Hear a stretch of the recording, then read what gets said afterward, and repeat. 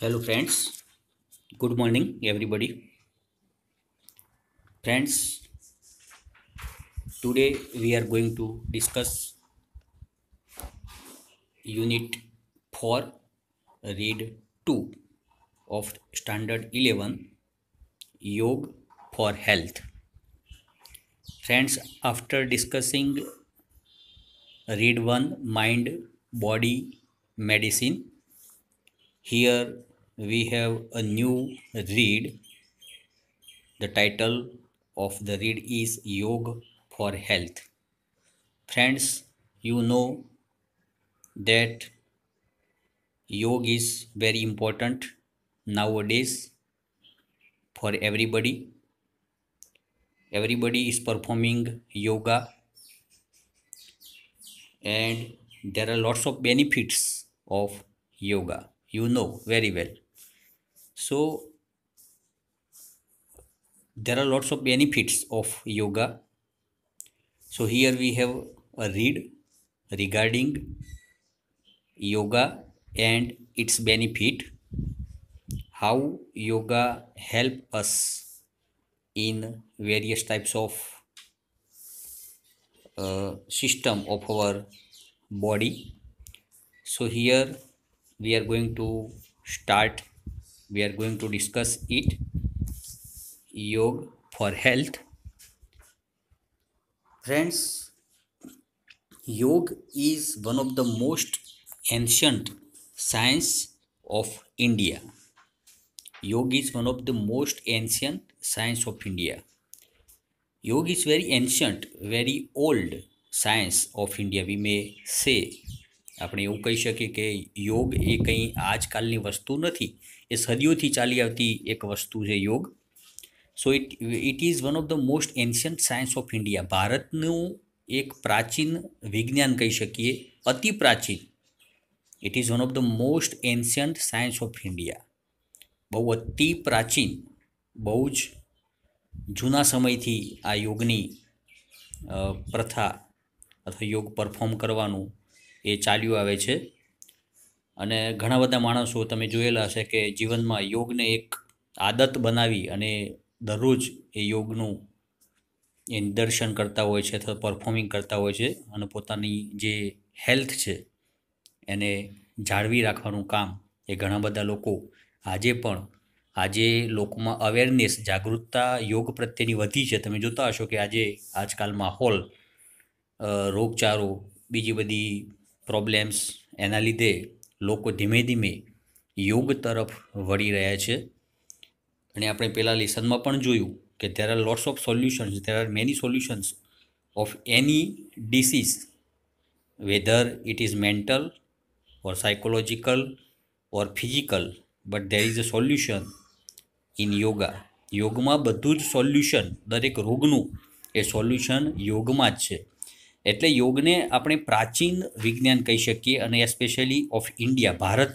આજે ઘણા બધા દેશો તમે જોતા હશો કે ઘણા બધા દેશોમાં પણ યોગનું ચલણ, યોગ કરવાનું ચલણ વધ્યું છે ઘણા બધા લોકો આજે આપણા દેશ પ્રત્યે એક મીટ માંડીને બેઠા છે કે ભાઈ યોગમાં એ ઘણા બધા રોગોનું સોલ્યુશન એ છે.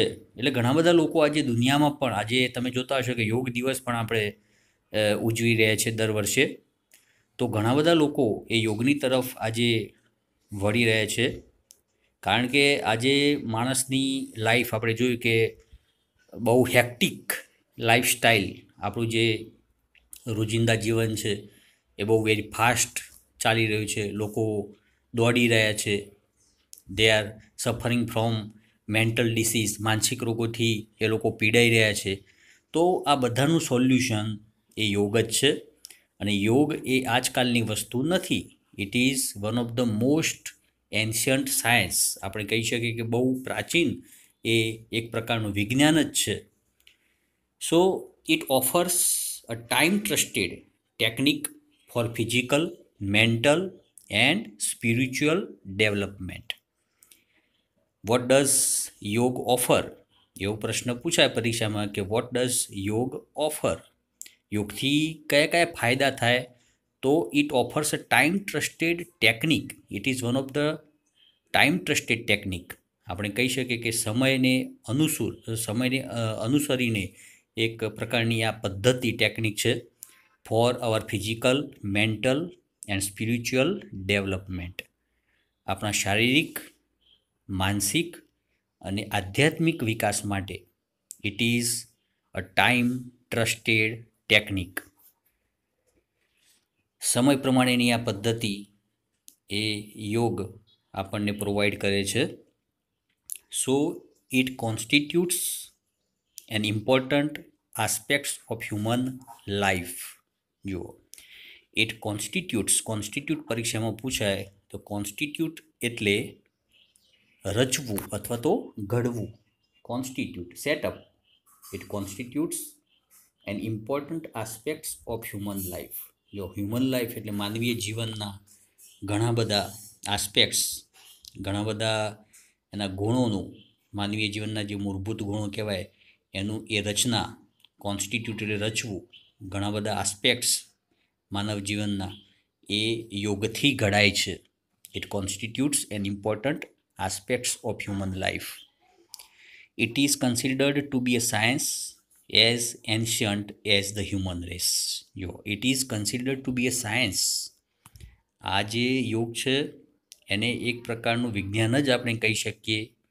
વિજ્ઞાન જ છે it is considered to be a science and it is as ancient as the human race human race એટલે માનવ જાતિ. જેટલું આપણી માનવ જાતિનું ઉત્પત્તિ થઈ, માનવ જાતિ જેટલે જ્યારે ઉત્પત્તિ થઈ એ વખતથી આ યોગ એના કરતાં પણ કદાચ અતિ પ્રાચીન એક પ્રકારનું વિજ્ઞાન આપણે યોગને એ કન્સિડર કરી શકીએ so yoga has a capacity to bring about fundamental transformation in the individual. Yoga has the capacity, yoga has the ability to bring about fundamental transformation in the individual. જો ઇન્ડિવિજ્યુઅલ એટલે કોઈ બી વ્યક્તિગત, કોઈ કોઈ બી વ્યક્તિમાં ફેરફાર લાવવો હોય ટ્રાન્સફોર્મેશન પરીક્ષામાં પૂછાય, તો ટ્રાન્સફોર્મેશન એટલે ચેન્જ ચેન્જ પરિવર્તન, બદલાવ આપણે કહી શકીએ ટ્રાન્સફોર્મેશન ચેન્જ અને ફંડામેન્ટલ એટલે બેઝિક ફંડામેન્ટલ મીન્સ બેઝિક મૂળભૂત. તો યોગમાં એક એવી કેપેસિટી છે, યોગમાં એક એવી તાકાત છે to bring about fundamental transformation in the individual.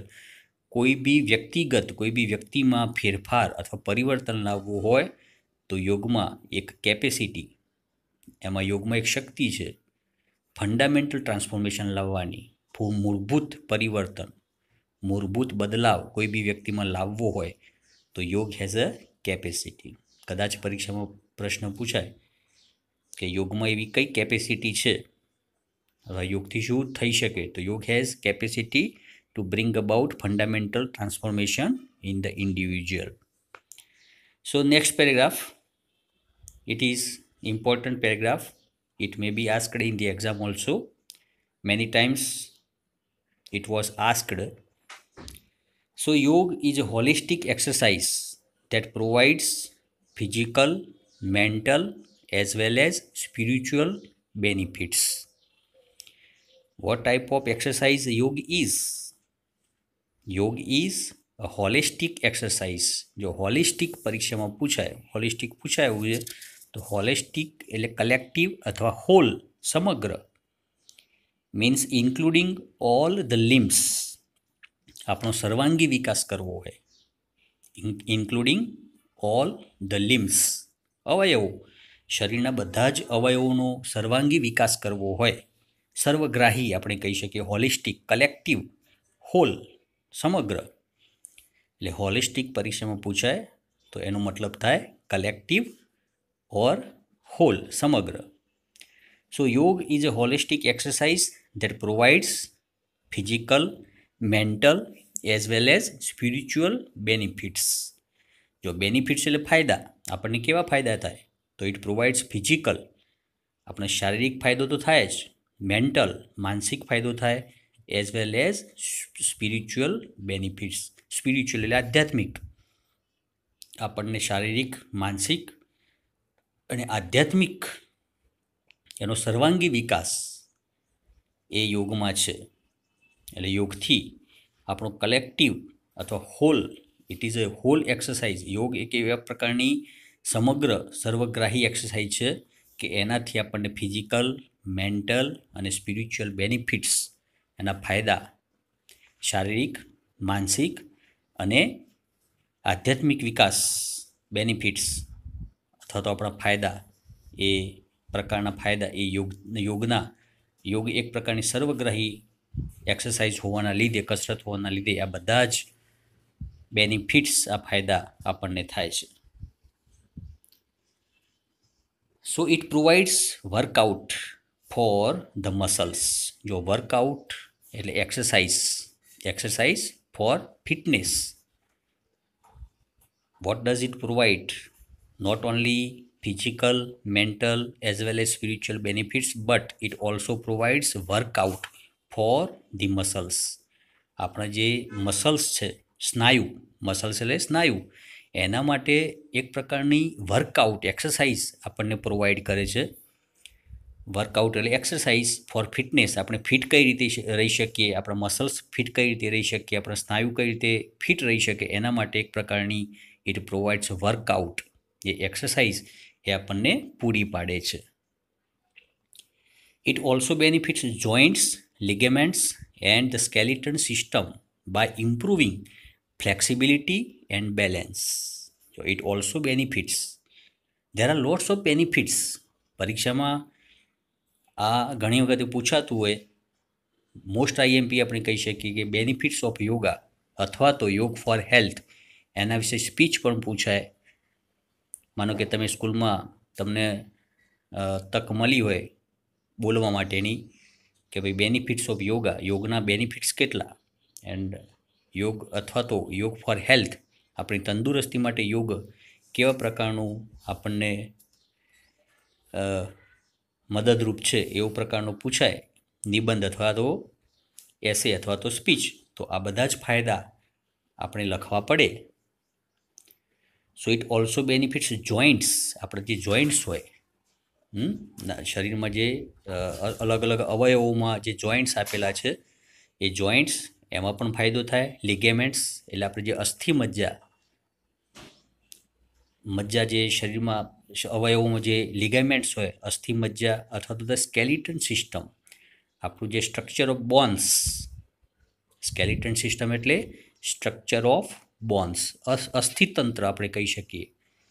અસ્થિતંત્ર skeleton system એને શું કરે? Improving it it's improve how flexibility it brings flexibility and balance આજે આપણે જોઈન્ટ્સ ખરા, સાંધા અથવા તો અસ્થિ મજ્જા લિગેમેન્ટ્સ એન્ડ સ્કેલિટન સિસ્ટમ આપણું જે અસ્થિતંત્ર ખરું સ્કેલિટન સિસ્ટમ એને બાય ઇમ્પ્રુવિંગ ફ્લેક્સિબિલિટી એમાં ઇમ્પ્રુવિંગ લાવે, એમાં ફેરફાર લાવે, એમાં સુધારો લાવે અને એકદમ ફ્લેક્સિબલ બનાવે, એકદમ લચીલાપણું એ શરીરના અવયવોમાં આવે જોઈન્ટ્સમાં ને સાંધાઓમાં એન્ડ બેલેન્સ આપણા શરીરમાં જે સંતુલન હોય એ પણ વધારવામાં એ મદદરૂપ કરે છે.